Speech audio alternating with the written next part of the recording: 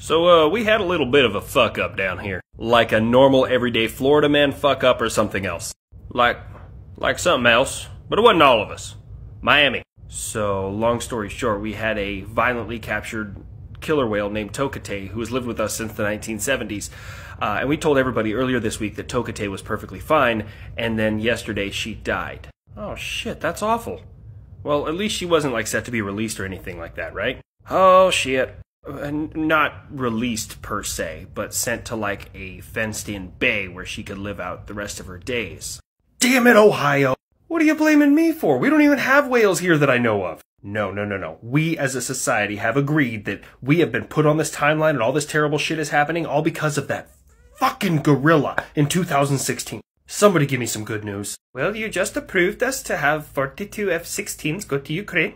Oh, weapon systems always calm me down. Okay, I'm here for it. This will not change the outcome of my special military operation.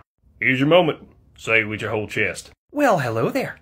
I am the lightweight, cost-effective answer to all of America and NATO's problems. Like the big angry fellow on the far side of the Pacific who read too much Sun Tzu and not enough romance novels. He's met me in the skies above Taiwan.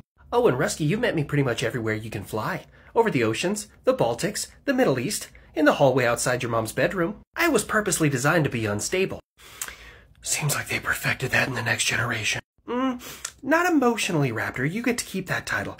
I'm aeronautically unstable. There's small computers inside of me that constantly do micro adjustments to keep me from crashing into the ground. But I'm highly useful when it comes to defensive counter air, offensive counter air, and of course I am the wildest of weasels.